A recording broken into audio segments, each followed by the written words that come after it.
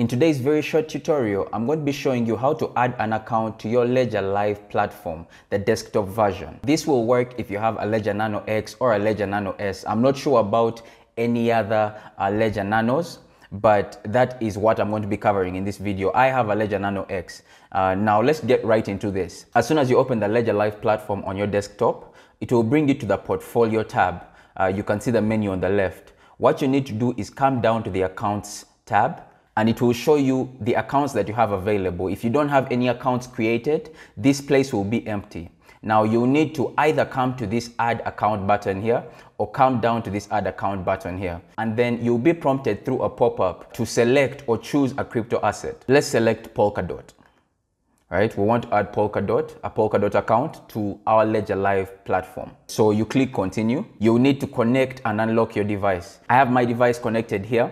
What I'm going to do is uh, enter my PIN. And now that I've connected, you can see that it's checking app deficiencies. And then I'll need to allow Ledger Manager on my actual device. As you can see, I don't know if you can see right here, but I'll need to press these two buttons in order to allow Ledger Manager on my device. Boom. Now the app is being installed onto my Ledger Nano X and also the Ledger Live platform as well. Boom, that's complete. So now I'm supposed to open uh, the Polkadot app on my device uh, you probably won't see that, but the words should appear on the screen on your Ledger Nano X. So you click both buttons simultaneously as you've been prompted on your Ledger Live desktop uh, software. And now it's synchronizing. So it's synchronizing uh, my Ledger Live to the Polkadot blockchain, right? And the synchronization process has been complete. And all I need to do is click add account on the screen.